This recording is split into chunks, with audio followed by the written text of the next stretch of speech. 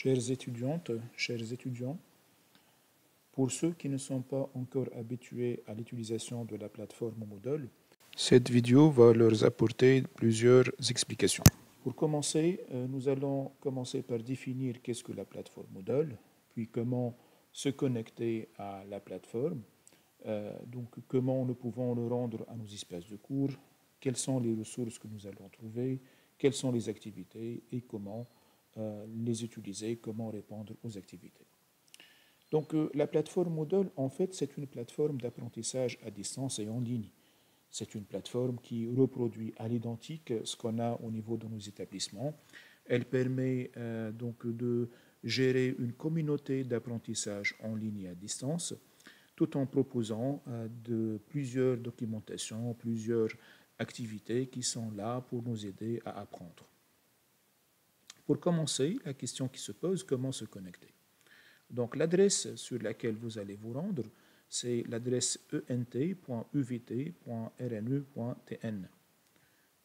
Euh, donc au niveau de cette adresse-là, vous allez trouver les, euh, différentes, euh, les différentes universités. Vous allez choisir l'université à laquelle vous êtes rattaché et vous allez cliquer pour accéder à la plateforme. Une fois que vous êtes sur l'espace réservé à votre université. Vous allez saisir votre nom d'utilisateur et votre mot de passe. Si vous avez oublié votre nom d'utilisateur et votre mot de passe, vous pouvez les activer en cliquant sur euh, juste la phrase qui est mentionnée au niveau de la présentation. Vous avez oublié votre nom d'utilisateur et ou votre mot de passe. Une fois que vous cliquez sur euh, ce lien, vous allez faire apparaître cette interface au niveau de cette interface, vous pouvez euh, donc euh, soit saisir votre nom d'utilisateur, si vous vous rappelez évidemment du nom d'utilisateur, sinon vous pouvez saisir euh, votre adresse mail si vous vous rappelez de votre adresse mail. Une fois que vous faites cette manipulation, vous allez recevoir un mail qui va vous inviter à changer vos paramètres d'accès. Nous allons maintenant nous rendre à, à l'espace de cours voir ce qu'on peut trouver comme activité. Une fois connecté à votre tableau de bord, vous allez trouver un certain nombre d'informations.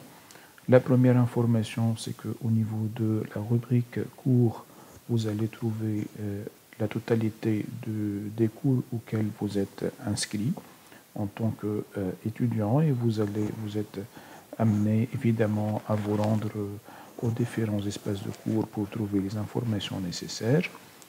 Vous avez aussi, euh, au niveau toujours du tableau de bord, vous avez euh, la chronologie. Donc au niveau de la chronologie, vous allez trouver les différents devoirs que vous devez faire au niveau de lors de des jours qui, qui vont venir. Donc certainement là, vous avez simplement un sondage, mais s'il y a d'autres devoirs, vous allez trouver toute une liste d'activités à faire. Euh, au niveau du tableau de bord aussi, j'aurai la possibilité de visualiser les différents cours ou bien mes différents cours qui sont là. Donc, euh, pour me rendre au tableau de bord, donc je dois toujours cliquer sur tableau de bord. Pour trouver mes cours, je clique sur cours. Au niveau du tableau de bord, par exemple, là, je vais me rendre à ce cours-là. Je vais changer ma casquette, je vais prendre la casquette d'un étudiant. Maintenant, les étudiants peuvent visualiser cette interface. La première chose que je vous conseille de faire, c'est de télécharger l'application mobile de Moodle. Donc, si vous cliquez sur ce lien, vous allez atterrir sur l'interface d'application. Donc, en fonction de ce que vous avez comme outil, vous allez cliquer sur télécharger l'application. Donc, soit vous allez télécharger l'application sur Google Play, ou bien sur App Store, en fonction évidemment de, euh, de votre téléphone ou bien de votre smartphone. Euh, donc euh, au niveau de la plateforme, vous allez trouver un certain nombre de points ou bien un certain nombre d'éléments. Donc la première chose auquel il faut faire attention, c'est que vous avez ici des forums. Donc ce symbole-là signifie qu'il s'agit d'un forum. Donc un forum, le forum d'annonce, c'est là où euh, mon enseignant va m'annoncer les informations qui sont en relation avec le cours. Donc je dois les consulter souvent. Donc là, par exemple, il y a une information qui concerne le démarrage. Donc ce forum-là, je ne peux pas, au niveau de ce forum-là, je ne peux pas répondre. Donc pour me rendre à la page euh, donc, du, de notre plateforme, donc vous allez toujours choisir l'acronyme ou bien l'abréviation du cours. Donc là, par exemple, ISG 72, je clique et je reviens à l'interface du cours. Il y a aussi un autre forum. Donc, par exemple, ce type de forum qui est généralement au niveau des, euh, des chapitres ou bien au niveau des sections. Donc, si je clique sur ce forum-là, je peux interagir avec mes collègues et avec mon enseignant. Donc, je peux, pour ajouter une discussion, je vais cliquer sur Ajouter une discussion.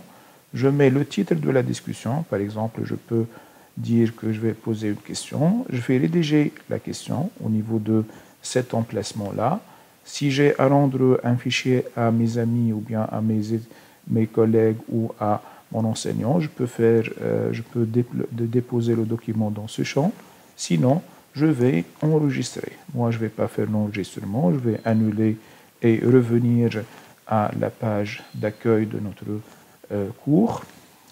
Donc, au niveau du cours, vous allez trouver des ressources vous pouvez les télécharger, des corrections d'activités, des activités aussi, mais il y a aussi quelques éléments qui sont importants au niveau du cours. Il y a un calendrier. Au niveau du calendrier, il peut y avoir des événements. Donc, il faut se renseigner par rapport à ces événements pour avoir euh, les échéances des différentes activités. Par exemple, au niveau, lors du 14, il y a un événement qui est exercice. Donc cet exercice, en fait, c'est cet exercice-là que je dois le déposer. Donc euh, cette activité-là signifie que j'ai un travail à rendre. Si je clique sur cet exercice, je vais trouver les énoncés. Si mon enseignant me donne un document à télécharger, je peux le télécharger. Vous avez aussi la possibilité, par exemple, là, vous pouvez trouver le temps restant pour faire l'activité. Si j'ai un commentaire à envoyer à mon enseignant, donc je vais le taper ici, puis je vais enregistrer. Sinon, si je vais, je vais rendre le travail, je clique sur Ajouter un travail. Donc, dans cette activité-là, il y a deux champs. Le premier champ, c'est là où je peux mettre, par exemple, un texte. Par exemple, là, je peux mettre un lien qui m'a qui été demandé ou bien une information quelconque. Le document que je vais le mettre, je vais le mettre à cet emplacement-là. Comment je fais? C'est très simple. Je vais chercher le document. Par exemple, je suppose que le document, c'est celui-là. Je vais le sélectionner et je vais le glisser à l'emplacement souhaité. Et je vais enregistrer. À ce moment-là, je dois vérifier si le document est déposé, voilà, donc mon travail est fait. Tant que l'échéance n'a pas encore euh, achevé, je peux euh, évidemment modifier le travail. Je reviens toujours au niveau de l'espace de cours pour vous montrer autre chose. Donc au niveau de l'espace de cours, j'ai la possibilité de voir les activités récentes. Donc lorsque je reviens à la plateforme, je dois vérifier ce qui est de nouveau au niveau de l'activité. Donc là, par exemple, je dois avoir les informations qui sont en relation avec tout ce qui est mis à jour au niveau de la plateforme. La barre de progression me donne une idée sur ma progression au niveau du cours, c'est-à-dire quelles sont les activités. Donc là, par exemple, j'ai cliqué sur le chapitre 2, donc le chapitre 2 est achevé. Euh, l'exercice, j'ai rendu l'exercice, c'est bon, donc l'exercice est achevé. Donc en fonction de mes besoins, je peux trouver pas mal d'informations au niveau de de, cet de, cet affichage. Au niveau du bloc navigation, vous pouvez trouver un certain nombre d'informations importantes. Ce qu'il faut signaler aussi ici, c'est que vous allez trouver votre établissement, les cours auxquels vous êtes la licence, évidemment les cours auxquels vous êtes inscrit, et plus particulièrement les notes. Donc si vous cliquez sur Notes, vous allez trouver les notes que vous avez eues au niveau de, des différentes activités. Étant donné que dans ce cours-là, il n'y a qu'un seul, exercice, donc là je peux trouver la pondération de l'exercice, la note que j'ai eue, et en termes de pourcentage l'atteinte par rapport à la note. Nous allons voir maintenant comment on peut trouver l'activité test et comment nous pouvons faire cette activité. Lorsque vous avez cette icône, cela signifie que vous avez un test à faire. Donc l'icône est euh, le suivant. Donc vous cliquez sur un test à effectuer. Donc vous allez cliquer sur euh, le test en question. Vous allez trouver des informations qui, ont été communiquées par votre enseignant, le nombre de tentatives pour faire ce test, le dernier délai pour rendre le test, le temps alloué, donc le test plutôt il est ouvert à partir de quelle date, le dernier délai de faire pour faire le test. Vous avez aussi le temps alloué au test. Donc pour faire le test, vous allez cliquer sur faire le test et puis démarrage ou bien démarrer une tentative. Une fois que vous allez terminer, vous allez à la fin terminer le test. Vous devez cliquer sur terminer le test.